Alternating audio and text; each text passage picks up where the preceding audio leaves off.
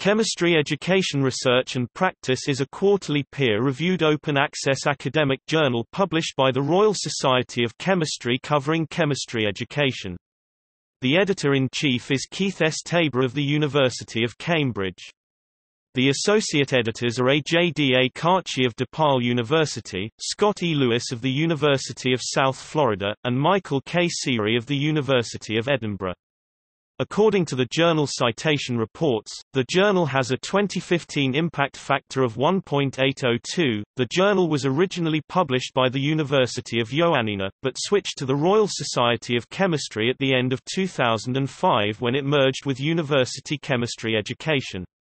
The Society also publishes Education in Chemistry, a news magazine on the same topic.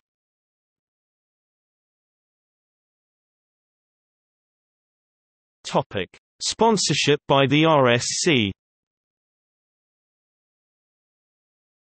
The journal is able to be open access, yet not have page or process charges levied against authors, due to sponsorship from the Education Division of the RSC. The RSC is a charity, as well as a learned society, and support for an open access educational journal is seen as furthering its educational mission.